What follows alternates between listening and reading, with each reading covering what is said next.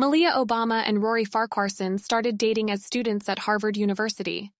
Their relationship gained attention after Rory was seen kissing Malia at a rugby game at Harvard University. While at Harvard, Rory was studying to be a lawyer. Unfortunately, nothing is known as about his current career. According to their pics, it is easy to tell the couple is so in love with each other.